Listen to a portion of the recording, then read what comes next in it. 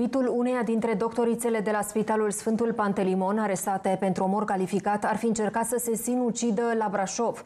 Bărbatul, tot medic anestezist, a fost înregistrat de anchetatori în timp ce vorbea cu cea poreclită doamna cu coasa despre folosirea noradrenalinei asupra pacienților de la ATI. Mai mult amintea despre sinuciderea unui medic care la rândul lui afirmase că această substanță nu ar salva vieți, ci ar prelungi o suferință și recomanda iubitei sale să se inspire din spusele medicului decedat.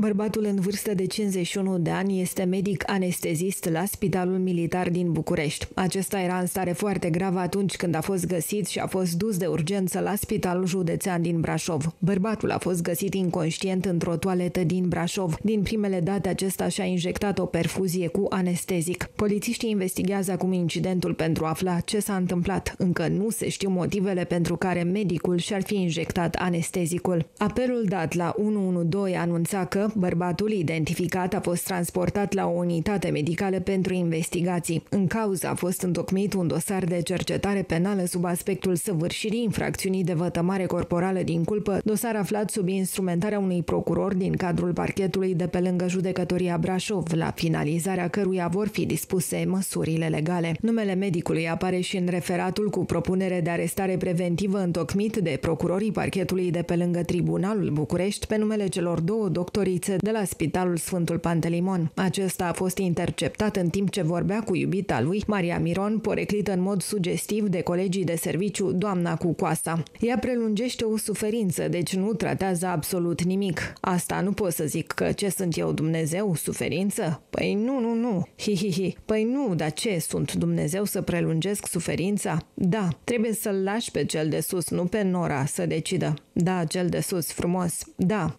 este discuția dintre medic și iubita sa supranumită doamna cu coasa. Cei doi fac referire la un coleg de breaslă care s-a sinucis și care a lăsat în urma sa o notă în care ar fi vorbit de tratamentul cu noradrenalină.